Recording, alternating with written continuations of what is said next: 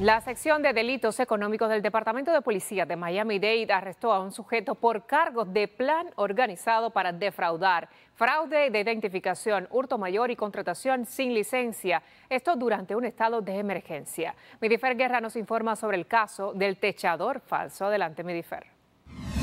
Hola, ¿qué tal? La policía del condado Miami-Dade arrestó a un sujeto que se hacía pasar por contratista y realizó un plan de fraude y estafa a muchos clientes.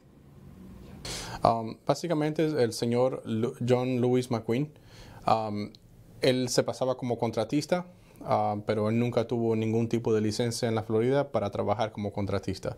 Hasta ahora tenemos 13 víctimas y la pérdida de dinero ha sido alrededor de 103 mil dólares. Según la orden judicial, al menos cuatro víctimas fueron estafadas entre el año 2018 y el 2019. La investigación siguió desde entonces y a la fecha la policía de Miami-Dade confirma que ya han identificado a un total de 13 víctimas. Pensamos que, hay muchas más víctimas en el condado que no han reportado este, los incidentes con ellos. La orden establece además que John Louis McQueen, de 64 años, que utilizaba otros alias para pasar desapercibido, había tomado entre 5 mil y hasta 12 mil dólares de cada víctima. Esto era como pago adelantado y que los cheques se hacían a nombre de una empresa llamada Champion Roof Consultants Inc. Él también usó um, tres otro nombre diferente. Él usa el nombre de Jeff Nash, Jeff McQueen o Jeffrey McQueen que es el nombre de su hermano. Con un total de 13 víctimas y con un monto que oscila entre los 100 mil y 103 mil dólares, el saldo de estafa y fraude que se le adjudica a McQueen, según informó la policía. Los cargos son con esas 13 víctimas, pero él tiene um, otra orden de arresto de dos otros estados.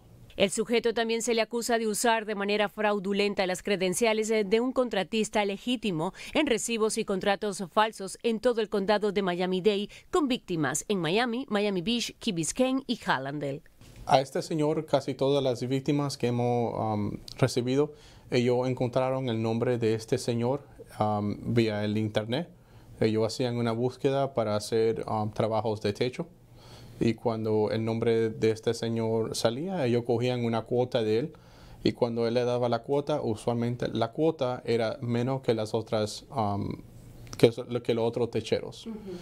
Cuando él iba, él cogía alrededor de 30, de 30 a 40% de depósito y se desaparecía con el dinero. Los detectives están tratando de identificar a otras víctimas afectadas por este plan de fraude. Si usted cree que usted ha sido víctima de este señor, pueden llamar al 305-994-1000. Ante estos casos de fraude, las autoridades recomiendan chequean en el internet, eh, pueden una, una búsqueda simple en Google o en Sunbiz le puede decir si la licencia es en realidad una licencia um, real de contratista.